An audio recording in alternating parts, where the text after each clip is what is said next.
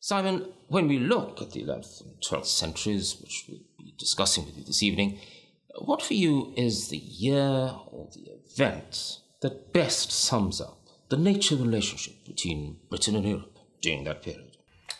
I think interestingly, 1140, 1174, um, four years after the assassination of Thomas Becket, um, whose clash with Henry II so vividly characterized the, uh, the confrontation between the secular, the temporal, and the religious, and partly, I think, the particular of England and the universal of Christendom in, in Western Europe. Uh, and I say 1174 because that, that is when, of course, Henry II bowed to the inevitable uh, and saw the, the however powerful he was as the King of England and, of course, as de facto head of the Angevin Empire as such. It's, a, it's an anachronism to call it that. Bowed to the inevitable and had to do penance uh, at the um, at the, the, the shrine to the martyr Thomas a Becket. And I think that is an is a useful time to uh, draw the decisions about the things that tied England into into Europe, be it social class, be it feudalism, be it Christianity, of course, the church, the language, uh, and yet did make Britain, England, really. Let's let's be honest about this. England quite separate in some ways, and I think in in in many ways the king who was king of England could no longer quite hold out as king of England, whatever he was about Poitiers and Anjou and uh, Aquitaine, etc., uh, and had to go. So I think it was quite a decisive, uh, decisive point. I don't think it's the only one. Of course, you know, it, it was a bit like uh, Charlemagne going to uh, the Pope to get legitimized his um, his his position as emperor of uh, the Holy Roman Empire. but I think it did it, it very usefully captures some degree of nascent nationalism, some degree of nascent identity, and yet some degree of universalism. And I think that that is quite an, an interesting uh, melange that, that, that, exists in the 11th and 12th century. I think it changes uh, after that.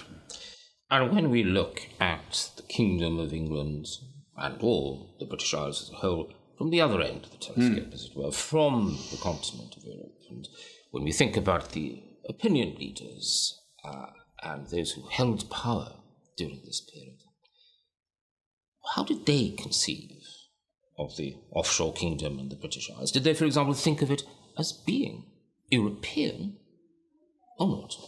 I would. I, I, it's, it's always you know one has to avoid anachronism. One also has to avoid sort of the Whig the Whig interpretation of history that always has England as very separate. But there were things I think that did did separate England, and I think England had defined itself over um, three or four hundred years in opposition to Scotland, Wales, Cornwall as an identity. Yeah? Again, acknowledging the, the, the, the, the regionalism, the sense of identity, the etc. etc. But the, I think the English Channel undoubtedly uh, made it that much more difficult to communicate, to uh, just do a, a, natural natural trade and and travel.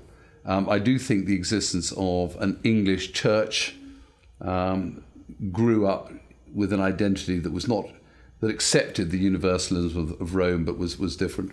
Um, I think from uh, from Alfred the Great's victory over the Vikings onwards, uh, there was a, so I, I, do think it was it was deemed through, as I say, feudalism, through Christianity, through Latin as the clerical language, through feudalism, etc., uh, as as very much part of a construct that would be recognisable but I do suspect it was looked on as a slightly different beast than the Holy Roman Empire, for instance, uh, or the Norman Kingdom of Sicily.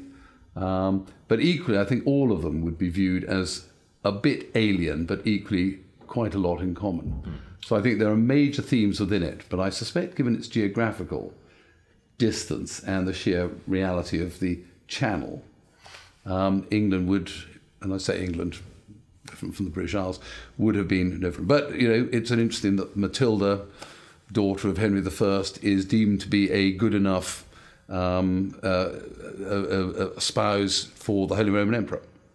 So, clearly, they're not looked on as a backwater if you're prepared to to use your your one shot with a with a barrage.